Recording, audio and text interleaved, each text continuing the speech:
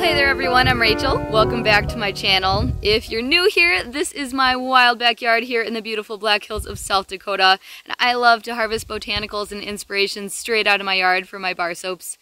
In the spring and summer, there are so many wildflowers here, including wild roses. So I love to get a bunch of the buds, which I'm going to be putting on top of these soaps today. And of course, whatever I don't harvest after a little bit of time turn into these rose hips, which kind of look like cranberries. So I'm going to harvest some of these soon when they're a little more bright red to save for fall and winter soaps. Stay tuned for that. So today's soap is called Cozy and Rosy, and I got a little surprise near the end of the soap. So let's head into my kitchen right now, and I'll show you how I made it.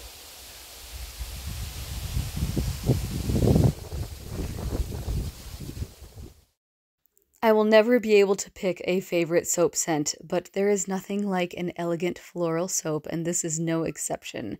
Now, I did not buy rose essential oil for this rose soap because it is very expensive. However, a blend of other floral essential oils can have a very similar and pleasant effect.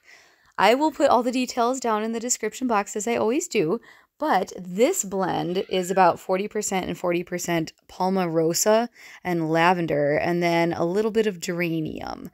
Now, I've also done rosewood essential oil, and that is also very nice. But keep in mind, all of these are florals.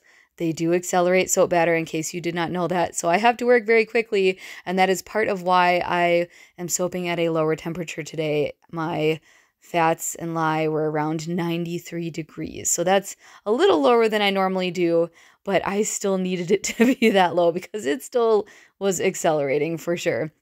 Plus, there were some sugars in this soap batter between some local honey that I did, plus some colloidal oats, all the good stuff, and even some goat milk that I got from our friends in the valley. Goat milk, of course, has some sugars in it as well. So I didn't want that to scorch in the lye solution because if you were to do, do straight water or room temperature or even just like refrigerated, the lye solution can get up to like 180 degrees. And I don't like waiting that long for it to cool down. Plus, it would have scorched the goat milk, giving it a slightly off scent and color. So I always freeze my distilled water and my goat milk or cucumber juice or whatever it is that I'm working with, and that helps the lye solution not get too hot. So it works out great. So that is what I did. I did close to 50% goat milk for my liquid portion today of the lye solution. So I am just mixing this up. I split the batter between two pitchers. The lighter color is some French pink clay and the more rose light color has some madder root powder and some rose hip powder in it. And the idea here is I wanted to do kind of a side pour. I've only done one other soap with a design similar to this, and I thought it was super fun and wanted to do it again, but it takes a little bit of coordination, especially when it starts thickening up near the end like this. I did tap it down, but I don't know why I bothered because there were still some air bubbles. It is what it is. It still looks really cool, but I kind of had to fool around with the top of it. So here's kind of a side swoop that I did with the hanger that I think gave it an extra unique touch.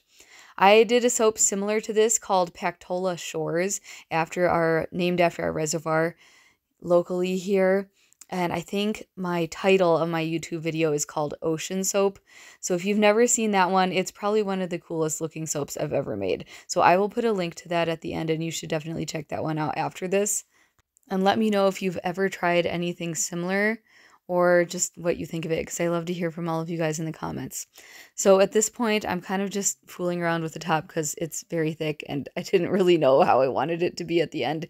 And I was a little distracted because I was looking out the window. So I will show you some camera spans around our house of what is happening outside in just a second. Basically, we live at high enough elevation where the Black Hills are, plus the Black Hills are kind of just in the middle of like multiple weather fronts. So we always get like crazy unexpected weather, temperature extremes and fluctuations, and hail, of course. so that's what I'm going to show you in a minute here. This is definitely not the biggest hail we've ever gotten. There was actually one time when there was like tennis ball size hail coming down on Pactola. There was a girl out on an inner tube that actually got hit in the head with one. It was kind of crazy. We stopped on the side of the road. We had just finished a hike for our anniversary. Um, we went and hiked the trail where my husband had proposed to me, and we made it back to the car just as like these dark clouds were rolling in, and it was Sturgis Rally Week. So, tons of motorcyclists out everywhere. This is like early August. And then, next thing you know, the hail just starts coming down. Um, that was absolutely crazy. we stopped on the way home because I saw like a tennis ball size one on the side of the road and I like jumped out and grabbed it. So it's still in a bag in our freezer and we like to show it to friends when they come over just to show them what it's like out here sometimes.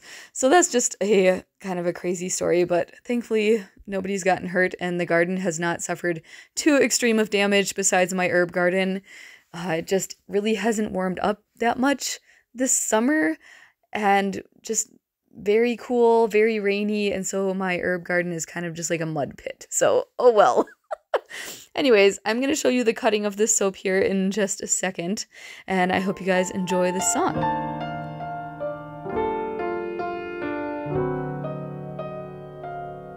I swim the ocean blue and walk from Everest round to Kathmandu for just one of your smile.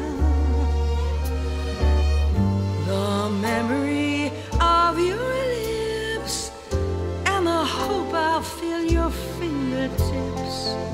All from one glimmer of your smile. I've given love a chance, dreamt of a true romance, but nothing compares to being with you. So whisper sweetly,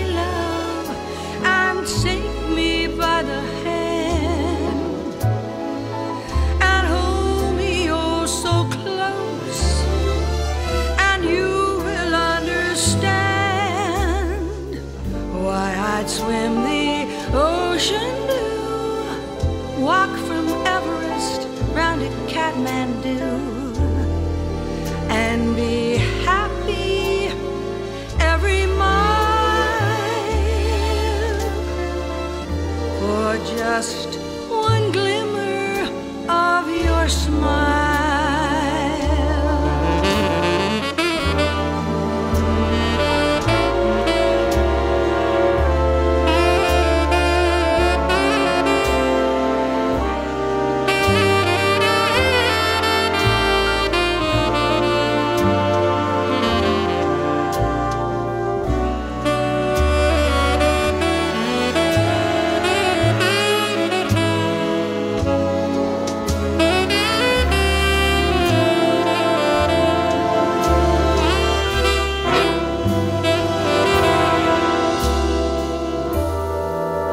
I've given love a chance, dreamt of a true romance, but nothing compares to being with you.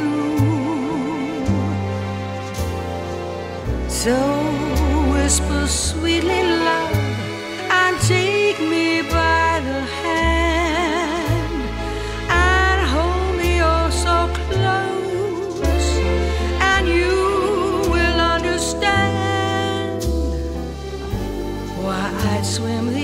ocean blue, walk from Everest round to Kathmandu, all for one glimmer of your smile. The memory of your lips and the hope I'll feel your fingertips. The raspberries have been out for several weeks, so of course, got to do a little picking, right? Well, thanks guys again for joining me today. I hope you enjoyed this, and I'll see you in the next one soon. just for one glimmer of your smile.